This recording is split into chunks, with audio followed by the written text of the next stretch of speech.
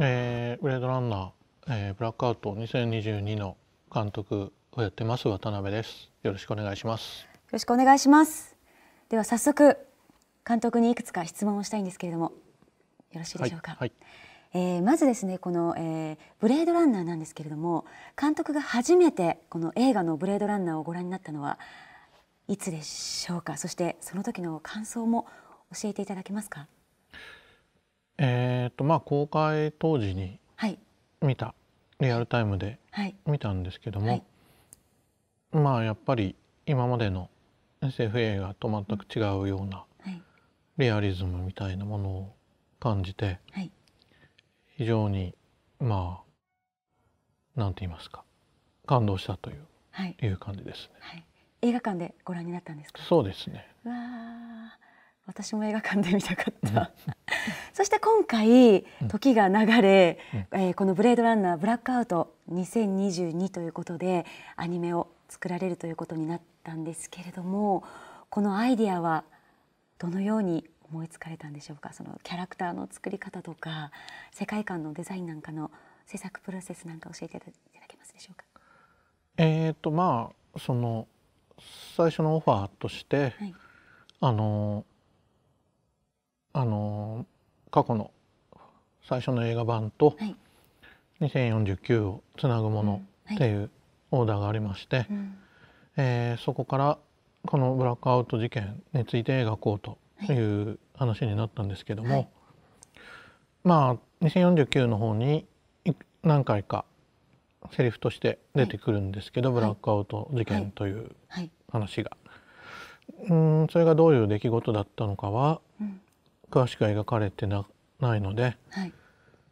でそのどういうふうな設定になっているのかも聞いたんですけども、はい、あまり細かいことは決まっていなくてこちらである程度膨らませて作ってもいいという話だったので、はい、い。ろいろ想像しながらその事件の顛末みたいなのを考えて書きまして、はい、えー、それをまあそのプロデューサーたちと打ち合わせしながら、うん、許諾を取りながら作っていったという感じです。うんはい、えー、じゃそのブラックアウト事件っていうのがどういう事件なのかというのを作り込むことが最初でキャラクターはその後からなのか、それとも途中でこう生まれてきたものですか、まあ途中で生まれてきた感じですね。はい、あのまあ自分の中のイメージとして、うん、その未来社会であのちょっとあの噂になっていてですね、はい、どうもこのブラックアウト事件っていうのは、うん、あの固めのレプリカントが起こしたらしいと、はい、そいつは何者かわからないが、うん、えー、そういう伝説の存在がいるとい。うようなイメージを勝手に作ってですねそんな設定はなかったんですけど、はい、でその伝説のレプリカントの話をやろうとい。うふうに、まあ、自分の中で勝手に想像して、でそこの中からキャラクターができていって、あのまあそれで作ったものを、これでいいですかという許諾を取りながら、あのエドランナー世界のヒストリーともちろん整合性が必要なので、そこは逐一確認を取りながら進めていったと。それと一緒に行動を共にするキャラクターと、まあ、徐々にイメージができてきて、そこでトリクシーとレンっていうキャラクターもできてきて、っていう感じで徐々に作っていきました。そして先ほどちょっと触れていただきましたイギーというレプリカントなんですけれども、うん、こちらのキャラクターもあのやっぱり謎が 多いままこのブラックアウトお話が終わった気がするんですけれども、うん、このイギーのモチベーションとか真意というものって、もし今少し教えていただける部分があったら伺いたいんですけれども。あのイギーに限らずなんですけども、はい、基本的にこれはあの、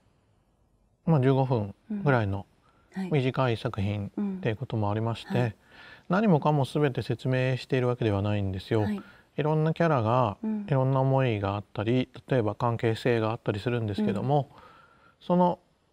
一部分一部分ある瞬間を切り取ってみせたという形で描いているんで、描かれていない部分に関しては、はい、むしろ見る人がいろいろ想像してほしいなとい。う気持ちもありまして、はい、うんこのこの人とこの人は会ってないけども、うん、実は会ったことがあるのかなとか、はいえー、この人はあのー、騙されているのか、うん、それとも分かった上でやっているのかなとか、はいはい、そういう部分が全てを見せてはいないんですけども、はい、それぞれに想像してみてもらえるといいかなと思うんですよ。あの最初の「ブレードランナー」の良かったことも良かったところも、そこだと思うんですよね。やっぱり一回見てあれがじゃあ全部わかるかって言ったらわからないと思うんですね。やっぱり謎も多いし、あと全てが描かれているわけではなくて、でもそこの間間をやっぱり見る人が埋めていくような部分があったと思うんですけども、はい、そこはやっぱりブレードランナーっぽさ、はい、まあなんていうの？うんそこで熱心なファンがついた理由でもあると思っていて、はい、うん例えば一回見て全て分かってしまって、うん、ああ面白かったね。で終わってしまうような作品だったら、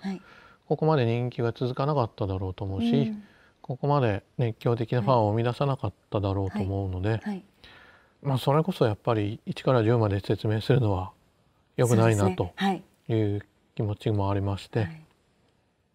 はい、うん自分の中ではもちろんいろいろなストーリーとか展開があるんですけども、はい、そこはまあ説明しすぎないように